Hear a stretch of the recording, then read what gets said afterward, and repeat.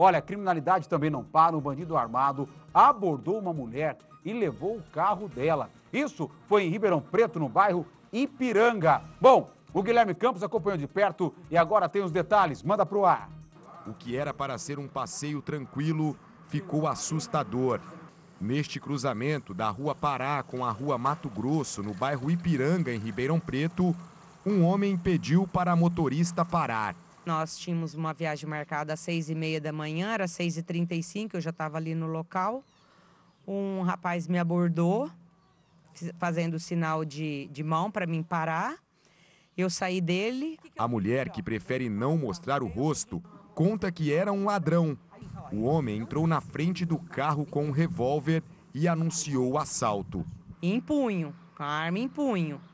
E aí eu consegui travar os, o carro, né? Travei as, as, portas. Ele viu na hora que eu travei, ele veio no vidro, bateu bastante no vidro.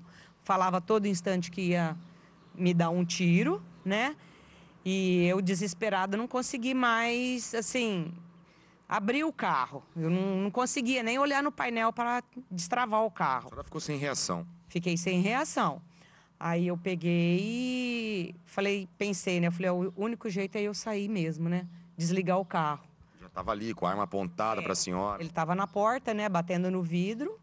Aí o que, que eu fiz? Eu peguei e desliguei o carro. A hora que eu desliguei, automaticamente destravou todas as portas. A motorista correu risco de ser atingida por um tiro. Ela não queria entregar a bolsa para o criminoso. Eu segurei a bolsa bem firme, né? Aí ele veio com as duas mãos, não, com uma mão só, uma ele segurando a arma e a outra na bolsa. Aí eu puxava a bolsa e ele puxava também pro lado dele. E eu... eu não queria entregar a bolsa. Eu não queria entregar a bolsa porque ali tinha meu celular, os cartões de banco, as coisas do, do dia a dia, minha carta, né? Como dizem, minha vida estava ali, né? Dentro da bolsa, né? Aí em todo instante ele falava, ele falava, solta porque senão eu vou te dar um tiro, solta porque senão eu vou te dar um tiro. Aí eu falei assim, pensei rápido, eu falei, bom, antes a bolsa do que eu. O ladrão fugiu com o carro e a mulher foi até a casa do filho, que fica a poucos metros do local onde aconteceu o roubo. Eu estava da casa do meu filho um meio quarteirão. E aí, o que, que vocês fizeram? Aí nós acionamos, eu bati, o Vitor abriu. A partir desse momento, o carro seria localizado em questão de tempo.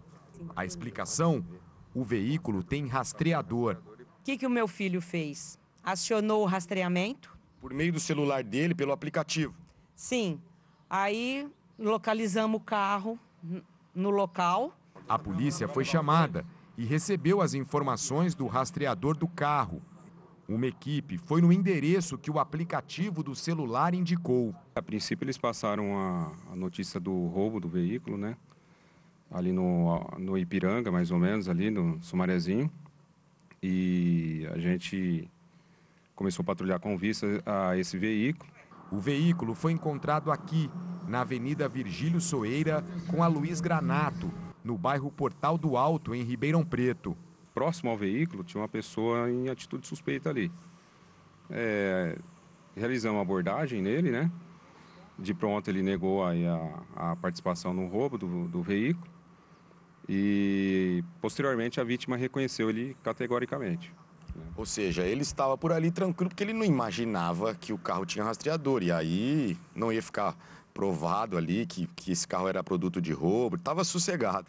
Sim, tem. É, o que de praxe acontece aí, os indivíduos levam o veículo, logo após eles deixam em algum lugar é, que a gente fala está esfriando, né? Para depois ele pegar esse veículo e levar para um lugar para ser desmontado ou ser vendido aí. A motorista respirou aliviada. O celular e os cartões de banco não foram encontrados, mas o veículo foi localizado. Ela estava indo visitar o outro filho, que mora em Piracicaba. Agora vamos modificar os nossos horários, né?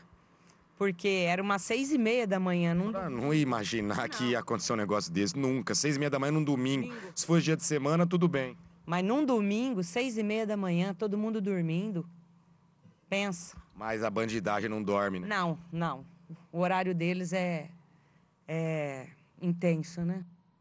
Olha, bandido não dorme, não para em momento algum, sempre vai ter algum picareta na rua procurando algo de errado para fazer, tá? Sempre vai ter, nesse caso, seis e meia da manhã, família indo passear, indo visitar o outro filho, região de Piracicaba, e aí, de repente, ela acaba abordada, ainda bem que na hora ela não pensou, né, em reagir ainda mais, falando, não vai levar a bolsa, não vai levar o celular, não vai levar o carro, porque de um lado você está vendo, né, tem uma mãe que inclusive era guardada pelos filhos, né, o filho que mora em Ribeirão, o filho que mora em Piracicaba, e do outro tem um cara que não tem nada a perder, né, ele está ali para matar ou para morrer, mas dispositivo de segurança, como você viu aí, foi fundamental para a polícia conseguir recuperar o carro. Nesse caso, o rastreador hoje não dá para você ter um bem, né? Um bem que você luta tanto, que você vai suar tanto para conseguir comprar, para conquistar, se ele não tiver, por exemplo, um seguro. Né? Tem que ter seguro, tem que ter rastreador, tem que ter trava, tem que tentar sair num horário mais movimentado, tem que tentar procurar um lugar mais seguro. Infelizmente, eu sei que parece ser absurdo, eu sei que a situação está invertida. É o poste que faz xixi no cachorro. Mas, infelizmente, hoje os bandidos estão procurando alvos mais fáceis. Levaram o carro dessa mulher, ela estava de manhã, sozinha na rua, aproveitaram para levar e só não teve sucesso 100% na ação porque o carro tinha rastreador e, como o policial disse muito bem ali para o Gui Campos, deixaram o carro esfriando, né? Como assim, Valentim? Para, ó, Espera lá, deixa o dia inteiro ali encostado. Se ninguém vier buscar, se ninguém rastrear, se ninguém encontrar, a gente pega e faz a fita que está marcada para fazer com ele. Né? Seja um roubo, seja um desmanche, seja passar esse carro para fora do Brasil, enfim, alguma coisa já estava encomendada. Eles esperaram, sorte que tinha rastreador e o carro voltou para a verdadeira dona.